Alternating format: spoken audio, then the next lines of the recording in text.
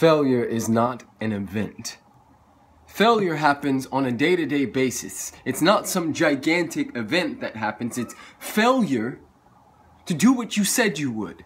It's failure to wake up and go to the gym. It's failure to face off with yourself and push past your ego. That's how failure happens. And on the other end,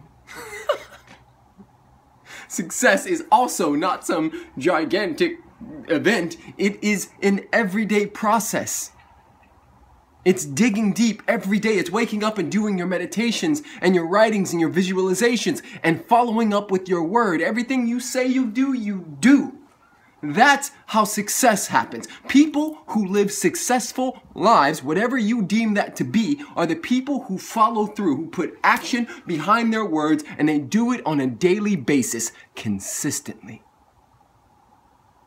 persistence and consistency on a daily basis will change your entire life. I love you guys. Blessings and blessings. Uh, yeah, if you're new to the family, if you're new to the tribe, click subscribe, share this message, leave a comment, and let me know how you get it in on a daily basis. It's going down in a beautiful major way.